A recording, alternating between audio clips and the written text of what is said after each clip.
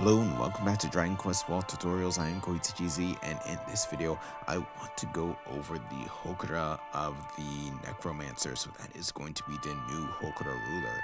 But first the one thing that I want to do is actually go over uh, some accessories from the uh, Alchemy Journey.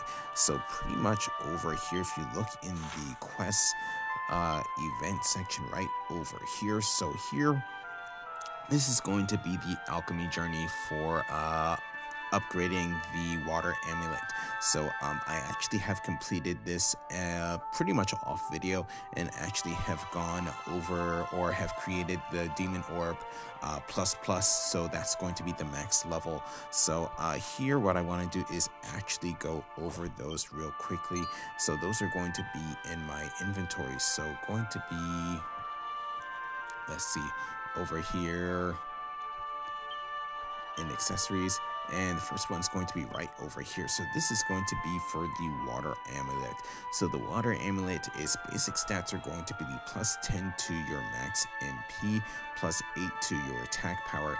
Then here going to have two abilities plus 10% to shadow weapon and physical technique damage and also plus 10% uh, to for paralysis resistance. So that's actually going to be an upgrade from the previous uh, weapon or accessory. Then over here going to have uh, the demon orb plus plus. So here pretty much like the other um, orbs that we have gotten through the alchemy journeys uh, you're going to have plus 30 to your max hp and then plus 10% to uh, the specific uh, type of enemy this orb is meant for. In this case is going to be plus 10% damage toward demons. So that's going to be that there. So here i'm going to go ahead and lock this in. So uh, besides that here now what i want to do is actually go over uh, this particular uh, Hokora ruler. But first, I want to take a look at my team. So this team should look somewhat familiar. Uh, very recently, um, we've had the Journey of Awakening for the Hellcaster. So I had a pretty good uh, team that dealt uh, decent damage to all enemies. And I feel that that team or this particular team at their full potential should be able to get through the special class level 60 Necromancer Hokora without having a healer on the team. So that's going to be this team here. So, um, going to be uh, slightly different uh, than when the than the recording. So uh, before I had a ninja and three druids, but this time um, I'm going to have a ninja and three other different classes. So I actually have leveled up. Um, my druids to level 75 so over here going to have my ninja equipped with the uh, Lamia's whip. So with this, this is going to do uh, Mera damage uh, to the enemies. So uh, pretty much uh, the Necromancer is going to be weak to uh, Mera and Zaba. But here with Mera, this is going to actually be really good, especially since you know that this is going to actually buff the next person with a limit break and also um, increasing their skill and critical hit rates. So that should be good there. Then here going to have a dragon equipped with the great sword of, of darkness repelling light. So this is actually going to be pretty good uh, for both abilities actually um, with the Bagi damage this does um, this is going to do good for healing or not healing but uh, defeating the two side enemies that are going to be in this particular Hokora and then uh, with Giga Blade going to do some pretty good damage to uh, the Necromancer, even though it's not uh, completely uh, weak to uh, the Dein damage, this can actually do some pretty good uh, damage to that enemy. Then over here, going to have a God Hand equipped with the uh, Metal King Greatsword. So with this, this is going to do both Shadow and Dorma damage, but here pretty much mainly going to be using it for the Shadow damage. So with the Shadow damage, um, that's pretty much going to be for the, uh, again, the two enemies on the side. Those are going to be the suspicious shadows. So, um, taking those out uh, right away in the beginning, that's actually going to be uh, very useful for this particular battle. So hopefully um, you'll actually get to see uh, this in action. And then over here, here I'm going to have a Demon Swordsman equipped with the uh, Flail of Destruction. So again, this is going to have uh, both Bagi and Io based uh, attacks. So with this uh, here, pretty much again going to want to take out the side enemies and then focus uh, attacks on the Necromancer. So that's going to be that there. So if you want to know more about this team, you can look down in the video description down below. But now I want to go ahead into uh, look at this Hokora and right over here for the Necromancer. So here uh, in the previous video, I actually did go over the Necromancer a little bit in terms of what it's weak to and then also what uh, to expect for it in terms of the uh, status effects used. So you're going to have fear, uh, illusion, and then you're also going to have silence as well. So um, besides that, uh, here the Necromancer is going to be a zombie type enemy, have around 175,000 uh, HP, 2 to 3 actions per turn. Weakness is going to be Mera and Zaba.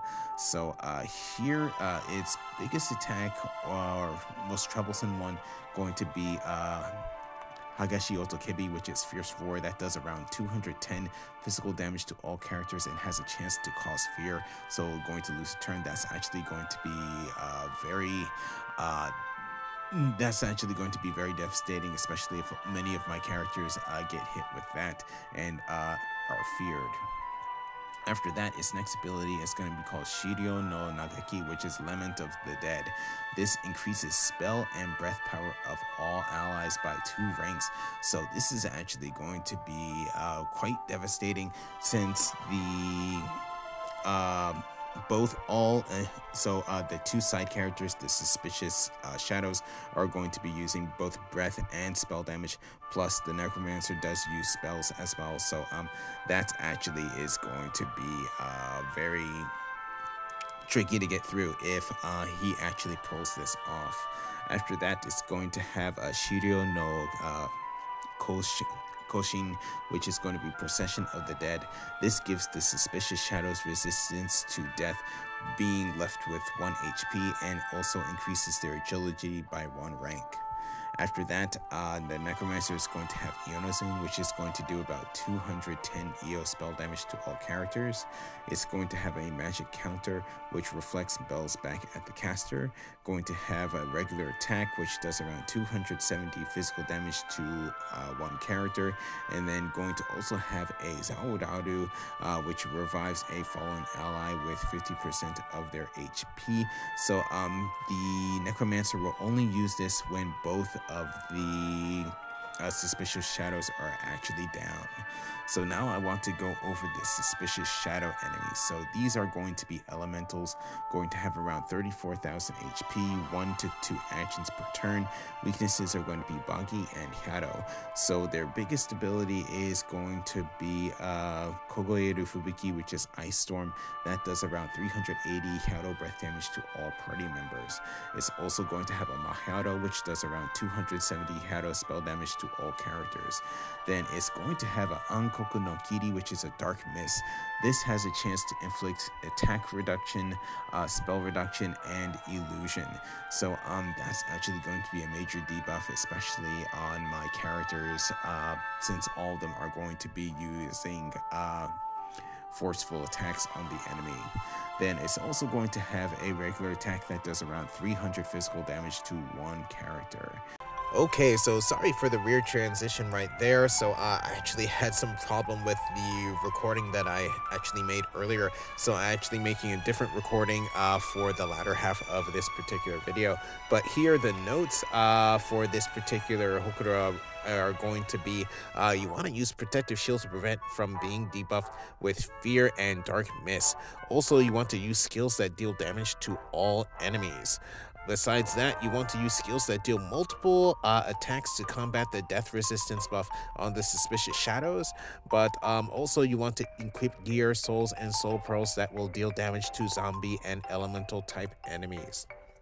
So pretty much uh, with the team that I am using, it is possible to win with no healer, but it is also risky since I am relying on specific uh, circumstances to occur during the battle. So definitely taking out the actual suspicious shadows uh, in the first round before um, the necromancer can do any actions that's actually going to be quite important.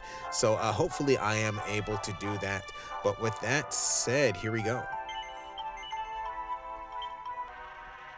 Okay, so here we go with this battle. So let's see what happens here. So in this case, most likely my ninja is going to go first. So going to go ahead and attack. So here, got a shadow weave on one of the shadows. Got a critical hit there. Here, going to go ahead and use Battle Demon Release.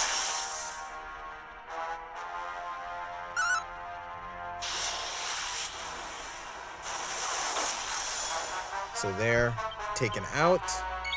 And here, going to go ahead and use Extreme Karma.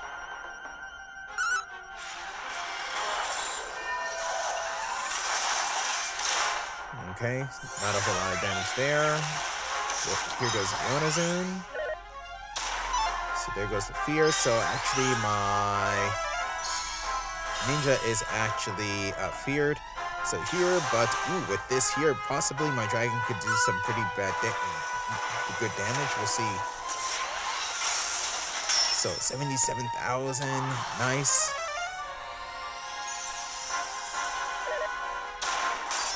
So a fear again.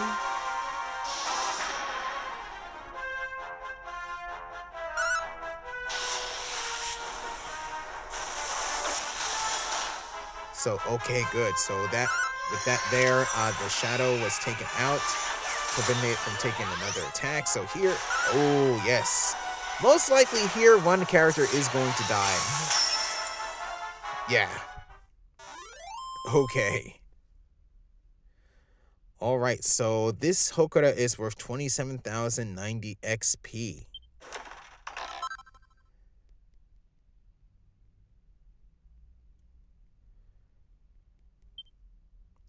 So the Necromancer is a green soul, and here I got a D.